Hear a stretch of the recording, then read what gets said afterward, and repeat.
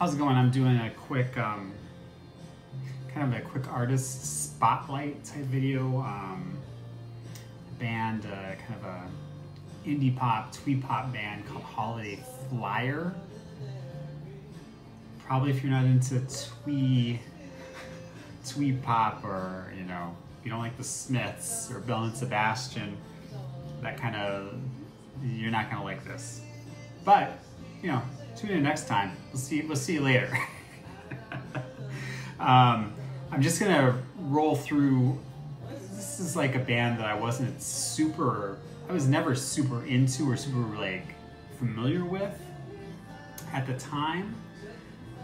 Heard more like, um, became familiar with them really through compilations. I think there was one called Pop American Style that that um, had a track on it that I really liked. That was a great compilation in general, but it's where I came to see to, to find Holiday Flyer, and I think that the first two records, if I had them, I don't I don't remember it.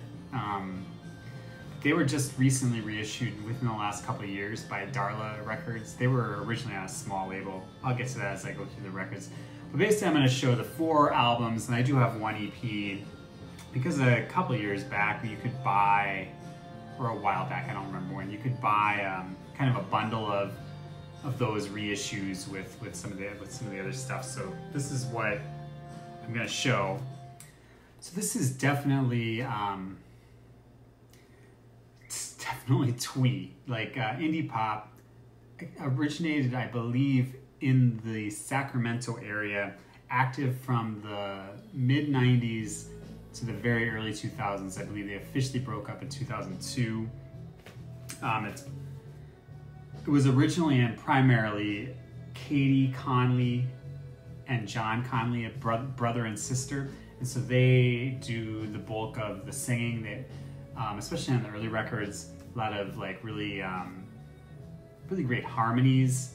Um, yeah, so they expanded to include a couple members of the band Rocketship, primarily um, Verna Brock, who was in there. She, uh, she's even on this first record, um, and then throughout. Um, and then there's uh, Jim Rivas, Jim Rivas, Rivas, also from Rocketship. So they kind of started pretty um, basic and became gradually more and more um, full band, I guess. Um, many members were also in the more power pop group, um, the California Oranges. Like Katie and John were, Verna was. Um, but as far as Holiday Flyer, this is mostly really spare sounding, especially early. Varied instrumentation, kind of a gentle chamber pop thing, kind of cute amateur, like especially early, um, not amateurish, but like it's not like um, these aren't like virtuosos. um, you know, a lot of um, kind of indie DIY music of the time would kind of live in that, um, that you know, record tape recordings and um, not necessarily super accomplished at their at their um, instruments. Anyway, all right, I, I, I feel like I've rambled and I need to cut some of this. I started to ramble a little bit, repeating myself. So this is the debut album from the group Holiday Flyer. It's called Try Not to Worry. It's released in 1995. Originally, this was released, uh, I think, C probably CD only on Silver Girl Records. This is a, I think, 2018 or 2019 remaster, reissue, first time on vinyl by Darla Records. There's a, just kind of some ex extended liner notes from Jack Rabid from Big Takeover magazine. You know, I think both of these have kind of essays on the back. So I would call this very spare, melancholic sunshine pop, I guess. Really lovely, really lovely harmonies by Katie and John. Um, you know, I like the, I like those boy girl like trading vocals. Um,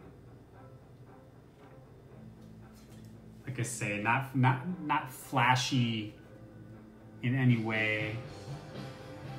Very twee. There's occasional songs with more like chiming, jangly guitars.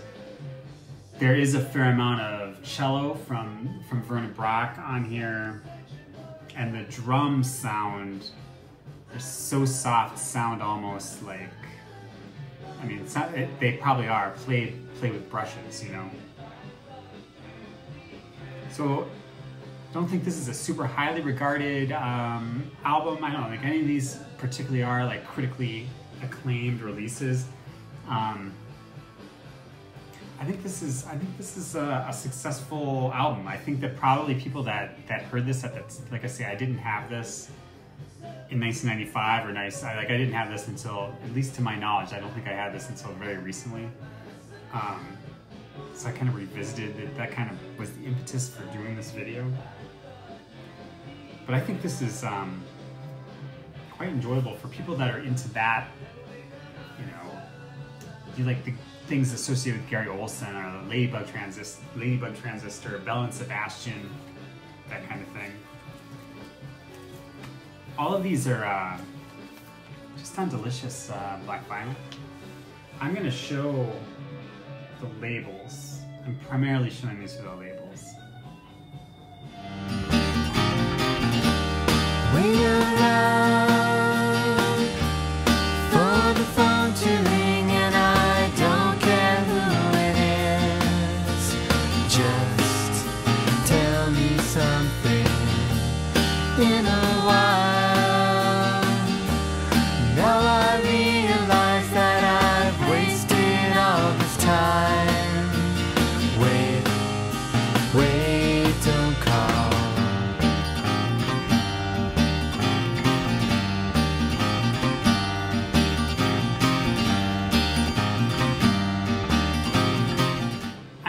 Attempt to get clips in like I try to do usually in my videos, um, just be an idea of what, what, we're dealing with because this is fairly, um,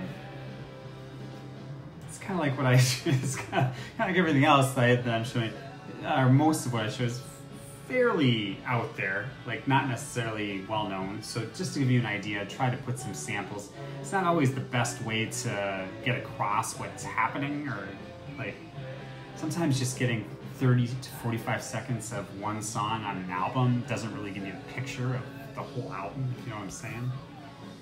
Anyways, this is the second release. So this this was also originally on that Silver Girl um, label. It's called uh, the Rainbow Confection. So this was released originally in 1997. This is a 20 think again at the same time, this is reissued by Darla, 2018 or 2019. Has an essay on here by Dave Heaton from Erasing Clouds. Still the same folks are uh, like mentioned are listed as being primarily the band, just the trio of Katie, John, and Verna. Um, this is again first time on vinyl was this reissue. Rema- it was a reissue. It was remastered by actually this Michael. I can't say his last name. Michael Yao. Um, I think he probably remastered both of these. He was in the band later. I think after this. Again, I'm not. I don't the timeline of things. So I would call this a further refinement of what was going on in the debut. Um, there is a bigger like bigger sound, like more going on, possibly a bit more upbeat. Um, you'll you'll see people compare this to the band Ida. like a poppier version of the band Ida. Um, there is slightly expanded instrumentation, piano, cello, flute. I say, some stuff a little more upbeat. There's occasional, um, you know, the band Suddenly Tammy. There's some of the songs remind me of the band Suddenly Tammy. Um, compared to the first album, I think I prefer this one. I think I like coming to it late because both of these I came to late. Um, I think I prefer this one, and I also think that um, I feel like this would be a more approachable listen. It still does occasionally drift towards um, more melancholy songs at times. Anyway, The Rainbow Confection, 1997.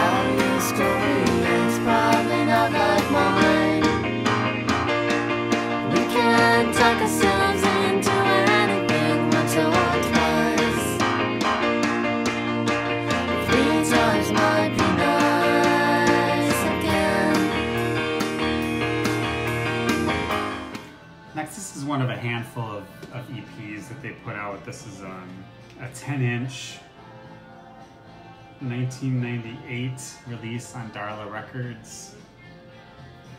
It's called Blue Harvest. This is a 16 minute long, you know, 10 inch record. It's mostly on the upbeat side for them. I'd say pretty solid overall. Um, it does. The last track uh, is probably the only song that's that's a little bit on the slow side. Comes with the like CD booklet. You can uh, believe CD booklet photo, and it's just it just the, the label kind of has that kind of writing on it.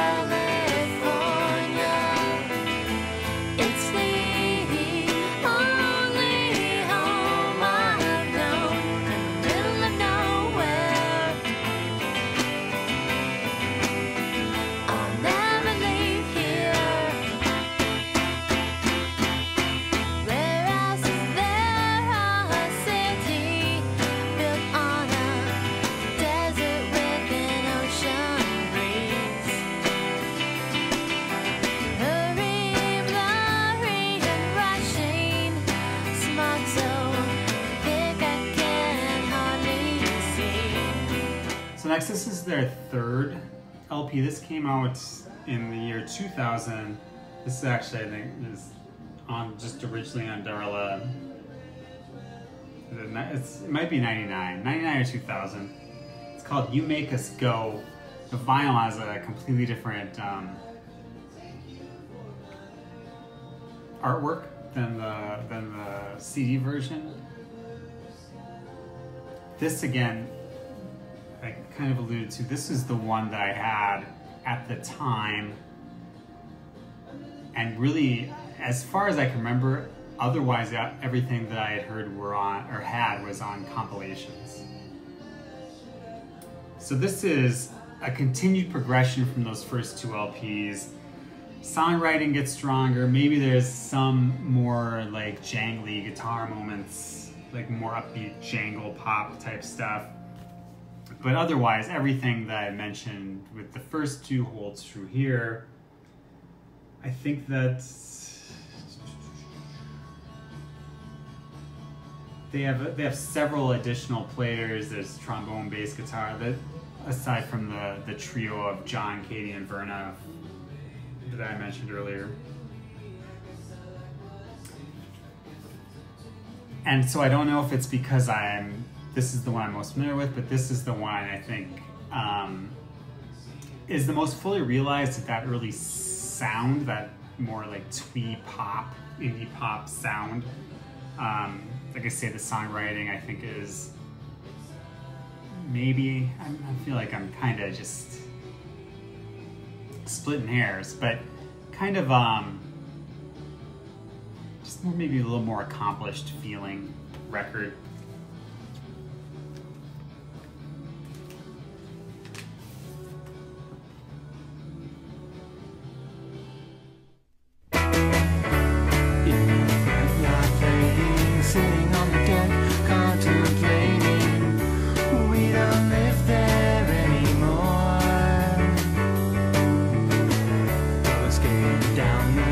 The slide across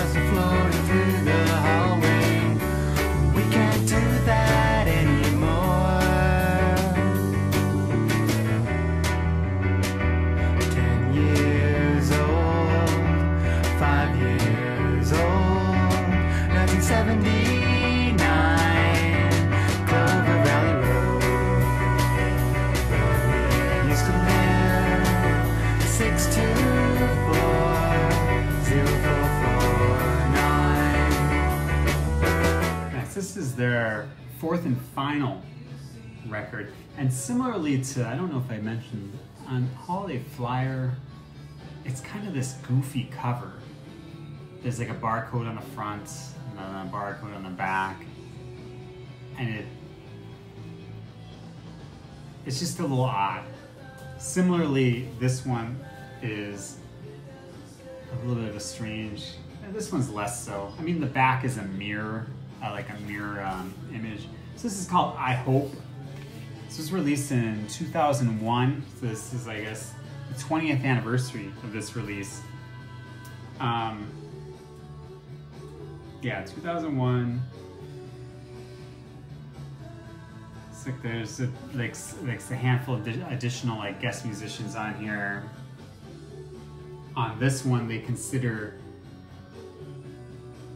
the trio that I mentioned earlier. So so John, Katie, Verna, and then Jim Rivas from from Rocketship also, and then that Michael Yao is what I'm going to say as as members. So in this case, they consider they're listed as a five piece band and that translates in the sound. It's a more like band feel. There feels it's through each song. This feels like there's more going on, um, like a fuller sound, I guess.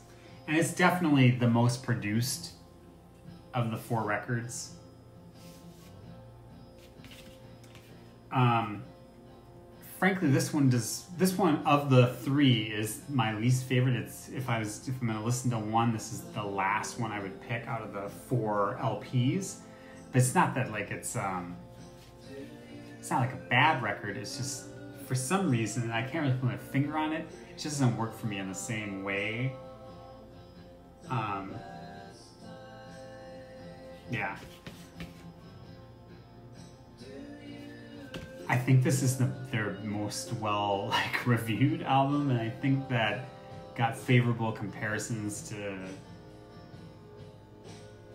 I completely disagree with you, so I, I hesitate to even say them. People would like mention Mazzy Star. Um, I'm not gonna remember some of the other ones. I don't because I completely I, I don't hear them. I don't hear those comparisons, but I mean, if that's what it took, I guess, to get people to, to check it out, then that's what it took.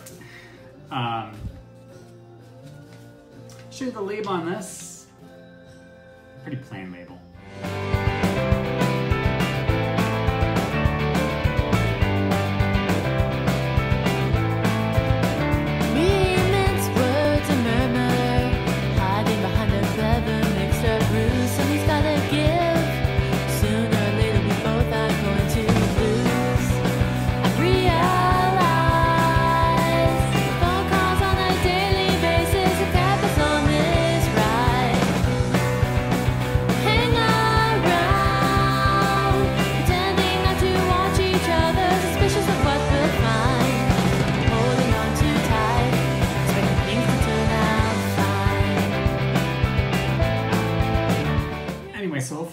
Um,